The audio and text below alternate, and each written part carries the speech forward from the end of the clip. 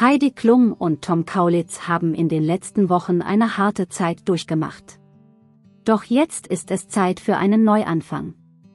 Die 50 ist ein Meilenstein im Leben und für Heidi Klum ein wahrer Wendepunkt. Gemeinsam mit ihrem Ehemann Tom möchte sie in die Schweiz flüchten, weit weg von ihrem langjährigen Zuhause in den USA. Dort fühlt sie sich bedroht und möchte einen Neustart wagen. Was für ein perfekter Zeitpunkt als ihren runden Geburtstag zu nutzen, um ganz von vorne anzufangen.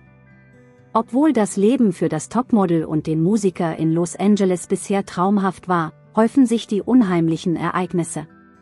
Auf dem Anwesen von Heides Schwager Bill Kaulitz trieb sich nachts ein gruseliger Stoker herum, der die ganze Familie und sogar die Polizei in Atem hielt.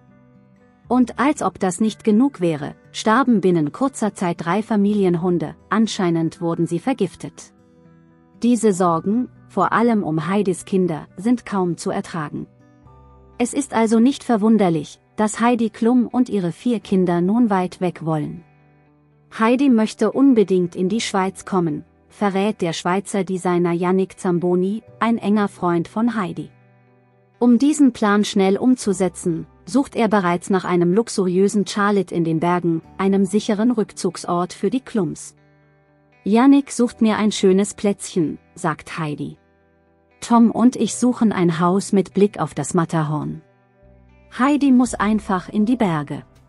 Schon 2010 hatte das Model darüber nachgedacht, in die Schweiz zu ziehen. Angesichts der brenzligen Lage gibt es nun kein Zurückhalten mehr. Heidi und Tom werden flüchten und ein neues Leben beginnen, um sich endlich wieder sicher fühlen zu können.